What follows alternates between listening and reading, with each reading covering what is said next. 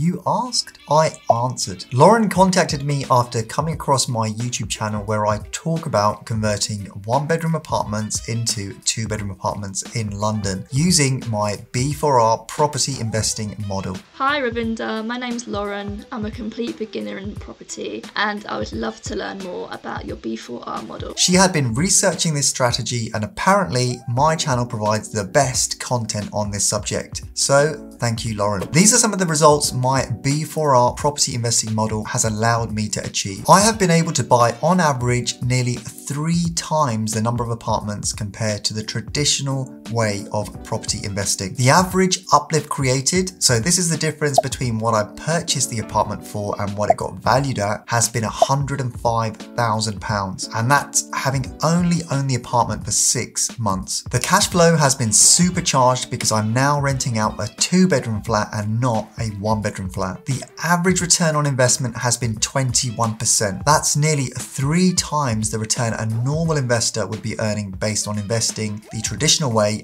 and the way I used to invest. Lauren had some really interesting and intriguing questions that she wanted my help with and so I thought it would be more fun and exciting if I did a video answering these questions. So big shout out to Lauren for getting in touch. I'm sure lots of people will have exactly the same questions you have asked. Please do me a quick favor and hit that subscribe button. It helps me more than you think. I'm all about the data and YouTube tells me that 77.6% of my viewers are not even subscribed. So please smash that subscribe button. If you guys do have any questions about my B4R property investing model, please comment them down below and I will try and make a video on them like I did for Lauren. Hi Ravinder, hope you are well. I came across your YouTube channel and have been wanting to convert one bedroom apartments into two bedroom apartments in London for a while now. I've been researching the strategy and your channel provides the best content on the subject. I have a few questions if you don't mind answering them. Does this strategy just work for converting one bed flat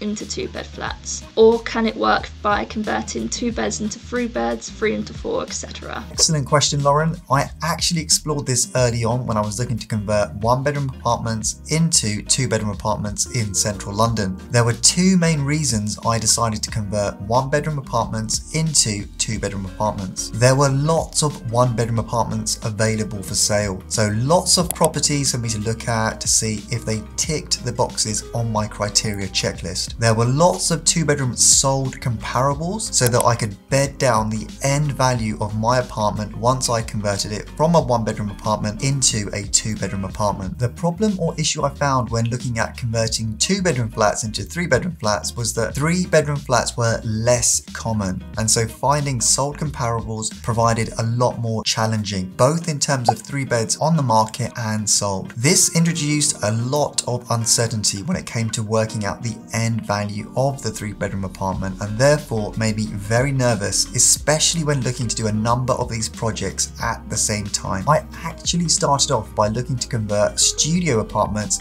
into one bedroom apartments. The reason I started off this way was that the studio apartments were cheaper and so I thought they might be less of a risk and a good way to start. But what I realized was that the studio apartments tended to be very small and therefore the converted one bedroom apartment would have been very small also. Mortgage lenders don't like apartments less than 30 square meters and most studios I came across were either 30 to 35 square meters. Have purchased one bedroom apartments as small as 46 square meters and as big as 55 square meters and converted these into two bedroom apartments. Ideally, the bigger the better, but the one bedroom apartments are definitely the sweet spot. Lots of one bedroom apartments for sale and lots of sold two bedroom apartments that you can use to justify the end value. How does this impact the value increase? Does the biggest increase come from converting one bed into two bed flats? Can you get the same amount of increase or similar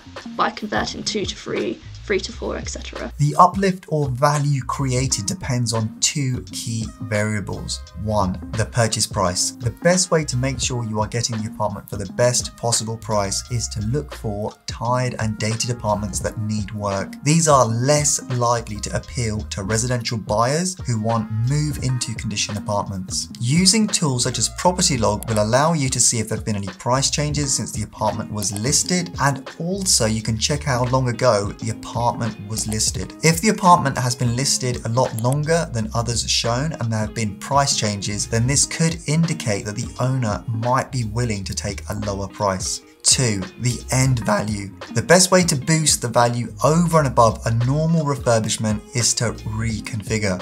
So add a bedroom. You could get this uplift or a value increase in either converting one bedroom apartments into two or even two bedroom apartments into three. But as mentioned earlier, in terms of getting the sold comparables, converting one bedroom apartments into two is optimal as there are lots of sold two bedroom apartments available when compared to three bedroom apartments. On the refinance onto the buy to let mortgage, the mortgage surveyor will look at sold two bedroom comparables within the last six months within a quarter mile of the property. It's just so much harder to bed down the values of a three bedroom apartment as they are less common. Does this strategy just work in central London or does it work in other areas of London as well? And how does this impact the value increase? This strategy could actually work anywhere depending on what you end up purchasing the apartment for and the values of two bedroom apartments in that area. It works well in big cities, but I've seen people complete these projects outside of London. When I first started, I was actually looking to do this strategy closer to home and so actually viewed properties in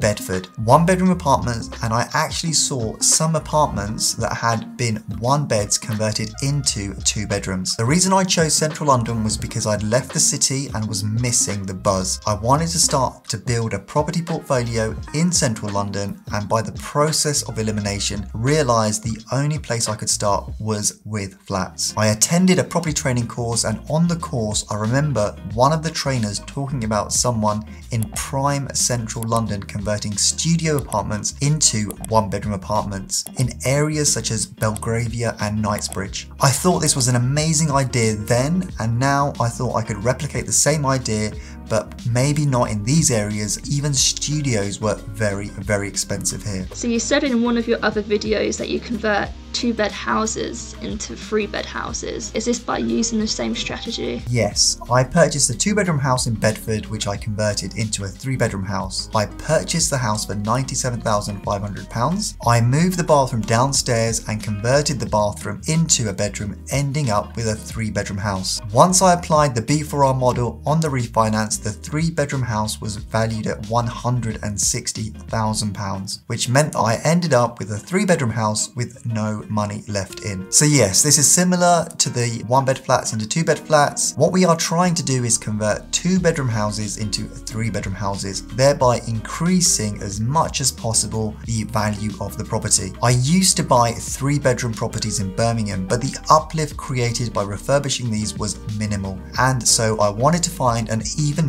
better way to increase the uplift, so converting two bedroom houses into three would be an excellent way to increase the value over and above a normal refurbishment.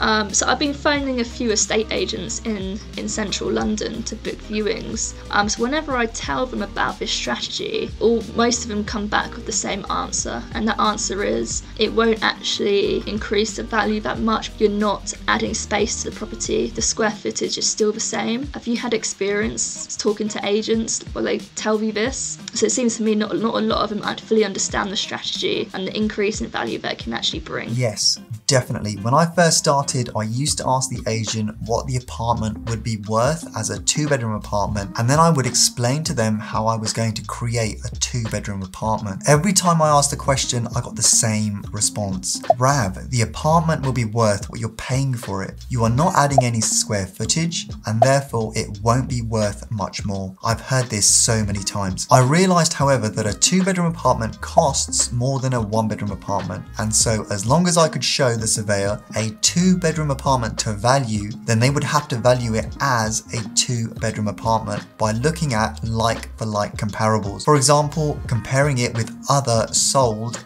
two bedroom apartments. I now just ask agents if they could send me some sold comparables of two bedroom apartments that will help me complete my due diligence. The other issue I found is that it's difficult for agents to visualize what you are planning on doing and therefore if they can't see it, it's harder to value. They have no idea what your level of refurbishment will be like. Are you going to spend £15,000 or £50,000? So they will struggle to value it as they can't see the end product. When you ask an agent to value value a property, they usually want to see it in its finished form so that they can give you a good idea of what they think it could be worth unless you're able to send them through computer generated images showing what the property will look like and the type of fixtures and fittings you are installing. I stopped telling the agents what I was planning on doing with the property and just focused on the property itself so I could negotiate a discount on the property. So for example, was the property tied and dated? Was it in need of a refurb? How long had it been on the market?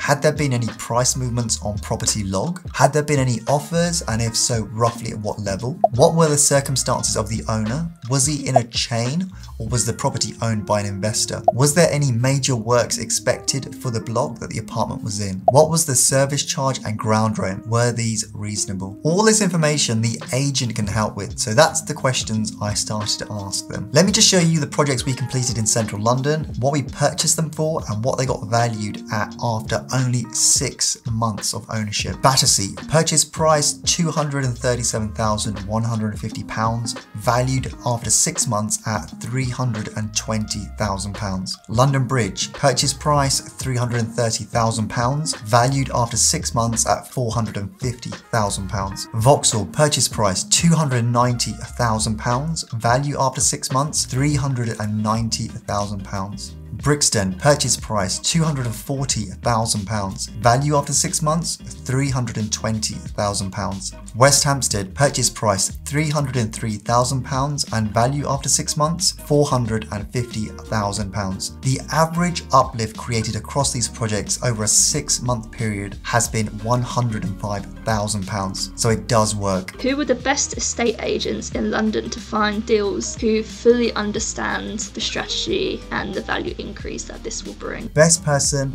is you. You will be best placed to find one bedroom apartments that you can convert into two bedroom apartments. You will need to do your own due diligence and rely on this to make a decision as to whether or not you feel the apartment you are looking at could work. I would never want to rely on anyone other than myself. You can work with agents to find one bedroom apartments and you can get their help to send you sold two bedroom comparables. Rightmove is the best tool out there to find these properties. You can set up alerts so that you get notified every time a property meeting your criteria is added to Rightmove. What agents can help you with is the following. They can tell you when the apartment was first listed, if there have been many viewings, what has been the feedback from people that have viewed, the number of offers received and roughly at what level, whether or not the owner is motivated, the level of service charge and ground rent and the length of the lease, if there's any development happening in the area in the near future that could help with capital appreciation, what the apartment could rent for and the type of tenant you are likely to attract. They will know which apartments are coming on, ones that might not be listed on Rightmove yet as they have only the keys and no photos, which apartments have fallen through in terms of the sale, and the motivation of the owners. They have so much information that they can significantly reduce the time you need to do your due diligence. How do you go about getting the freeholders' permission?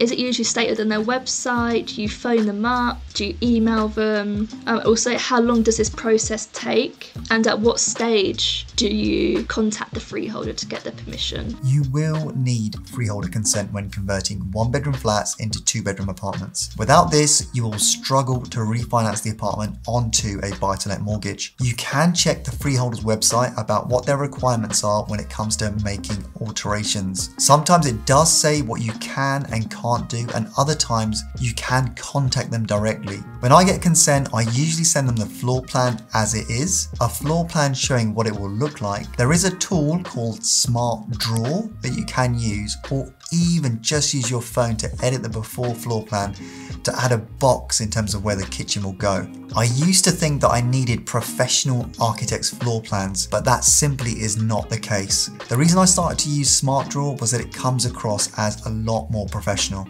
You usually get an answer quite quickly, sometimes they won't speak with you if you are not the owner, in which case you can ask the current owner to ask the question by forwarding the email you intend to send and ask the current owner to find out if there's any reason consent would not be obtained. Sometimes, not all the time, they issue consent in principle and view the property prior to you completing the works and then might visit again once you have completed it so that they can check you did what you said you were going to do. They will want to make sure all the works are completed by competent tradespeople, so qualified plumbers and electricians. I usually get London Building Control to sign up on the works as this gives them extra assurances that the works have been completed in line with building regulations. Have you ever had to pull out of a deal because the freeholder has not given you permission to in- internally reconfigure the flat? To date, I have never had this issue. I try to find out before exchange on the property whether or not consent will be granted. I usually buy these apartments using bridging finance, and so the exit is the refinance onto the buy to let mortgage. I am looking to add as much value as possible so if I don't get consent, then I would be leaving a lot more money in on each project. What fees are involved in a project using this method? Valuation fees, solicitor fees, broker fees, consent fees, bridging costs. No architect fees. You don't need an architect. You can draw up the after floor plans using your phone. SmartDraw or even get someone on fiverr.com to draw up these if you want something really professional looking. Consent fees. These vary anything from 100 to 250 pounds. The only additional fees are the consent fees if you compare this to a normal buy-to-let investor and the bridging fees. Between the time when you have completed the and remortgaging the property, how do you get short-term lettings? Do you put your property on Airbnb and other booking platforms or do you rent it out to contractors in the local area? I do long-term corporate lets and so work with corporate agencies like Silverdoor, SACO and also insurance companies to get medium to longer term bookings prior to the refinance onto the buy-to-let mortgage. Would you be able to do this if you purchased the property using a buy-to-let mortgage? Because I know that some mortgage lenders uh, put restrictions on this that you can't put your property on places like Airbnb. I usually buy the properties on a bridge and then refinance onto a buy to let mortgage after six months of ownership. This is the best way to buy these properties as this method is more scalable. Buy to let mortgages are for investors looking to buy a property to rent out. What they don't like is you buying a property on a buy to let mortgage and then completing significant amounts of work to that property only then to refinance in six months time to another lender. You might be able to do this one once or twice, but if you keep redeeming your mortgage after six months, lenders will start to ask questions. And also, depending on the product you're on, you could incur early redemption fees. So watch out. The best model is to buy on a bridge and refinance onto a buy to let mortgage after six months of ownership, as this is what lenders are used to seeing. Um, so, in one of your videos, you said that buy to let valuations are lower than the valuation if you were to if you intend to flip the property. I was just wondering how much lower is this? Buy to let surveyors will always be conservative and will base their value on sold prices. It can take up to six months for sold prices to hit Rightmove, so there can be a disconnect between the value then and now. Also, the price the apartment is marketed at is not necessarily the price at which the apartment actually sells for. There will always be a level of negotiation, and this can be either up or down depending on what's happening in the market. For example, prior to COVID, you could negotiate 5 to 10% off the marketed price. But since COVID, the property market has been on fire and properties have been selling for more than the marketed price going to best and finals and resulting in bidding wars. It's really difficult to say what the difference is, but as long as you can provide sold comparables to justify the value as a two bedroom apartment, then you are in a really good position. I always meet the surveyor on the valuation day and provide him with a valuation pack, which includes photos of the property before and after, schedule of works including money spent, sold comparables, usually three sold comparables within the last six months within a quarter mile of the subject property. What we are trying to do is make his life as easy as possible and show that we have spent time and money on this apartment and we know what it's worth. Can you please recommend builders, interior designers that, have you, that you've used for your previous projects? Yes, sure, I will send you details of who I use in central London. Can you please recommend a good broker for bridging finance uh, where you're able to then refinance on a buy to let mortgage six months later? Yes, sure. Our broker has helped us immensely. We work with one company who have a bridging and buy to let division who also talk to each other. This has massively helped me grow my portfolio as I was less nervous when it came to taking out a number of bridges at the same time. A lot of people think bridging is expensive, but the reason I love it is for the following. It's quick. I can complete a number of projects at the same time. As my experience grows over time, I'm able to look at bigger projects and therefore negotiate better rates.